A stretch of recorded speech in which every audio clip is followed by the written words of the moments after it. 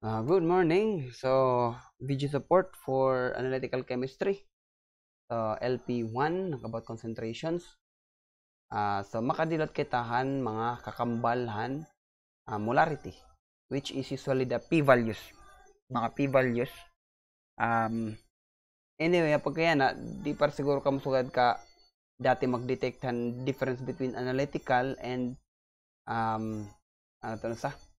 Uh, equilibrium molarity. So, ay, wala eh. Take molarity as bagang papreho. Uh, as we go deeper, makakita niyo talaga differentiate niya duduha. Opia, sorry. So, another class of molarity, pagkita ko, is your p-values because the definition of your p-values is really the negative logarithm of your molarity.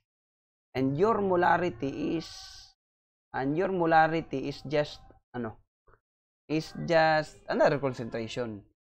So, P values. P values. P values. Uh, pinakakilala lagi nini is pH. Let's say. Diba? So, that is the negative logarithm kung ano man itiya nga kukuhaan P value. That is H or the H3O. So, that would be the P value or the negative logarithm of your H3O plus in a chemical reaction. Para mo acid base na chemical reaction. So, that's actually your pH. Negative log of that molarity of H3O. So, mole per liter a day. Pero pH usually waray unit. Kaya understood yan. So, may kang ni pH, that's the definition of your pH. Meaning, ginigarib logarithm yan, mole per liter. Mm -hmm. Pwede ka nat perito niya may unit yan, pero mas makuri. Danay. So, you only have to think it as like that. Makuri lang kang pH danay kay uh, ha mga problem didi is danay babalik tarong tatagaan kitahin se, let's say a pH na. Uh, basic pH, let's say na na titrate end of titration is let's say pH is 8.3 8.3 ani mo pH pH is 8.3 yan na it usual nga problem is an imo concentration negative log of your H3O plus. Diba? Meaning ano talaga niya? Kay ginatag man adi usually kasi formula arit ginaaro tapos isa-substitute lang naton kung ano tat nakuha nga H3O pero danay balik ta ditira igahatag ang pH tapos papakompute nato na di. Nga that what makes it complicated. Kung naa akong calculator mga suwa din eh, pwede tiya diretso. Igta-type ko lang nga inihimoon ko x. Pwede tiya. Compute ko ano nga diretso ha calculator using this kind of calculator. So masaya ako uh, 8.3 may dadidi kasi alpha equals alpha equals tama no? Hindi ba ang calculator wala relotin eh. So take note la. Anyway, mano-mano ko man yan, papakita ko kayo uh, negative log of alpha x alpha x. Man ano tiya gin alpha x ko ya tapos ig shift solve ko tiya shift solve. Uh, shift adi man solve shift solve. Man oh naaro yan bisan ano nga x? Bisan 0 pwede la tiya butahan mo 0 tapos equals. Mahatag iti ang value. Sorry. So may daya value. So that would be 5.01 So nagatagiyahin H3O dayon nga 5.01 times 10 to the negative 9. So kung H3O na tiya, pwede mo na tiya butangan in unit which is mole per liter. Tapos, pero kung manumanoon mo nga niya, of course, that is mathematics, masok din niya.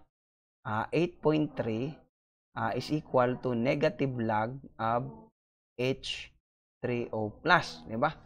Ini, pag transfer ni nga lag, kay kailangan mo adi. Una, nagta-transfer mo negative. So, times ka negative 1. Negative 1. Whatever you do to the left side, you do it to the right side. So, ipikita mo, magiging cancel ito, magiging positive ya. So, magiging lag na lahiya of H3O+. H3O+. Diba? So, you have negative 8.3. Now, pagbalhin lotin, eh, kailangan mo adi, iga-antay-lag mo a calculator antay lagilo ani ito baliktad ang naka-shift. Ito man nga uh, ito man 10 to the x. Actually that is 10 to the x. So baga tiyahin para mo makuha itong h3o that would be a 10 to the negative uh, ah, 8.3 is equal to uh, matatanggal na niya. Kaya nag 10 to the kwang ka naman. Bagay gin raise mo yung 10 gin raise mo din 10 so pag raise mo yung 10 ini man lulusa dit na duha uh, ini malusa dit tiya log of 10 of 10 is equal to 1. Ha, mathematics kasi ha, method danay ha, mathematics kasi, it 10 tapos antay log, that would be 1. Tas ini malusad na. Baga kasi tiyahin, malusad ana yun nga H3O+. Tapos, magiging 10 of log. 10 of log of 10. And this is equal to 1. Ami to, mat ha. So, ay pag pay attention, aton la ito nga, basta ang tayalag naton ang log, na 1 ito iya. Tapos, nalusad na imo H3O+. Oh, so H3O plus really is H3O plus really baliktaran ko equation that is uh, 10 to the negative 8.3. Okay? So,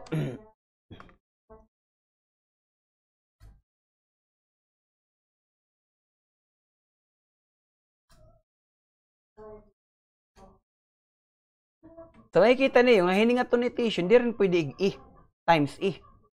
So, ma, ma-raise ka talaga, 10 raised to negative 8.3. So, masaring ka 10, tapos ano mo raise demand. So, ka dito. Tapos, bubutang mo na negative 8.3 man. So, that should be it. And 10 raised to a power of, ex, uh, of decimals.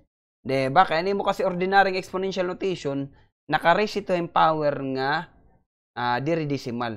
That is a whole number. Amo ito, babalin-balin mo lahat zero. Kaya mga decimal system man aton ginagamit nga numbering system. Okay? Sa calculator, again, pwede tiya i-raise ni mo dire 1. Kaya hindi ka makakagamit ang ila ha, expression na calculator. So, pag equals ko ito, makikita mo adto nga value nga 5.01. So, yan na. Uh, to the negative 9, pero ka 0, di ba? Pero actually, amo na tiya. Ikato ko nga niya ha, uh, egg mode ko nga niya nga to ha, uh, egg mode ko ya scientific. Kaya naka-normal man ako yan, sa scientific ko. Pak, Oh, makikita ko nga, adi man, no? 5.0 times 10 to the negative 9. So, ada di danan imo 5.0 0 nga ni kanina, no? 5.0 ay, tro ko. Mati ko naka-say ako hin. Cheat mode 7 psi 5. Ano? 5.01. So, 5.01 times 10 to the negative uh, 9. Uh, and then unit now is mole per liter. So, hindi nakita niyo pagkakaiba. Kung may daka mo advance na calculator, pwede la didiretso. Adi. Tada di. Nagamit la akong solver. Ito yung function. Function kasi ito imo.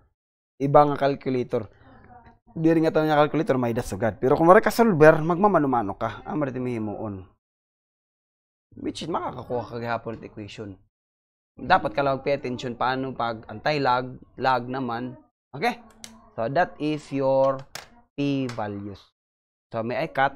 So, ano naliwat. So, thank you for listening, guys. Share, but don't subscribe. but anyway, bisan di ka magkita, waray kula. Basta di mo mapabasa la, nga kula ako ng example ng discussion.